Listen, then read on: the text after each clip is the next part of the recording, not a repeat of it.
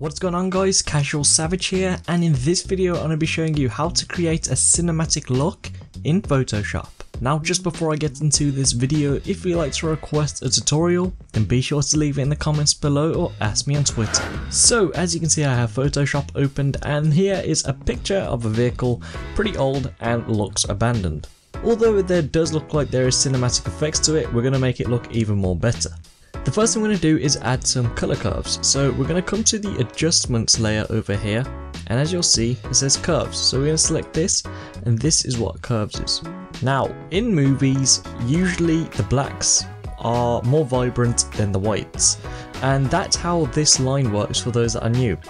The black tones are marked at the bottom here and then the white tones are marked at the top. So if we bring this down as you can see the lighter tones go down. But if we bring the black tones up that's what's going to happen. So what we're going to do, we're going to stay on RGB for this. You can do this individually to be even more precise, but I'm going to just be showing you with RGB. We're going to select three points right on the grid where I'm showing you. So one here, one right in the middle, and one just here on this grid as well. Now what we're going to do is bring this down on the side, so it's going to be a curve like that. And we're going to bring up the blacks here, not too much though, to about here. So we get this curve and it's going to be different for every photo so don't just go and copy the exact same curve I've done. Work out what is best for your photo. And of course you can play around with the points more if you would like to and that's what I'm going to do right now. And you can also use the mid-tones here. This is the, the middle one. Um, personally I don't think you need to but as you can see all you need to do is work out if you want it really bright or if you want to make it darker. So that's completely optional for me. I'm leaving it the same and now we're done with that. So if we take off curves, this is the original picture and this is the new picture. The next thing we're going to add is known as color balance, again in the adjustments panel, color balance. Now we're going to come to tones and we're going to select shadows. And all we're going to do here is I'm going to go towards yellow because yellow is usually the main thing on uh, movies, they usually have a, a yellow fill. And I'm also going to bring the red up a bit as well so we get this red yellow cinematic look. And again, you have to play around with the settings to suit what is best for you. And I think that's it for me. So if I take this off, that's the normal and that's the new one. As you can see without it, it just looks like it has a flat picture, but if we put that on, it gives more depth of field onto the car. Now, undertones, you can change the midtones and the highlights, but really we don't need to because messing with the shadows really does make it look better. The next thing we're going to do is add on hue and saturation, again under the adjustments, and this is what we're going to get. Now, under master, as you can see, we can change colours individually. What the main ones I recommend changing is reds, yellows, and greens. I'm going to start with reds. Now before we go changing colours, we're going to point out this thing at the bottom here, something that people don't pay attention to, but it's actually very useful.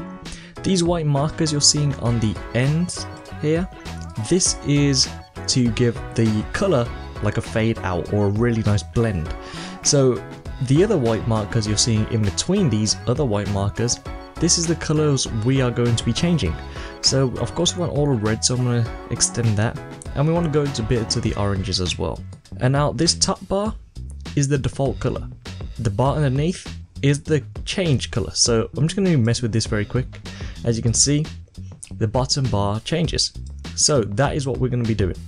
And you only need to change this very little as you can see. There's a massive difference already just going up like that.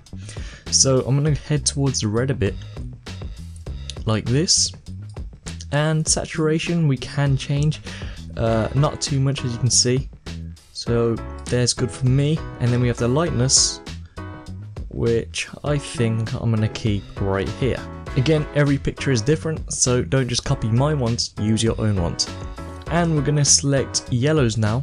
And this time, I actually want to head into the orange a bit again. So like that.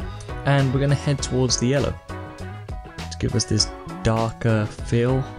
Then the saturation we can bring up a bit, not too much again, and then the lightness, I'm actually going to go a bit darker for this one, so minus 30 thinks good for me. And if we take this off, that's before, and that's after we've just added these colours. The final one is the greens. The greens don't change on here. The only part that is changing is this area here and underneath the car. So the, mar the points are just marked out, watch them again. As you can see, that's the only parts changing for me. So I don't need to change them, but of course you guys can experiment.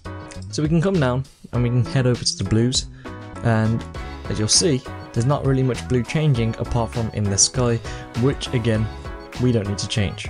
The last thing I recommend adding on is something called vibrance again under the adjustments. You'll see if we bring the vibrance up, the colours are going to pop so much more. So if I take the vibrance off, that's normal, that's width.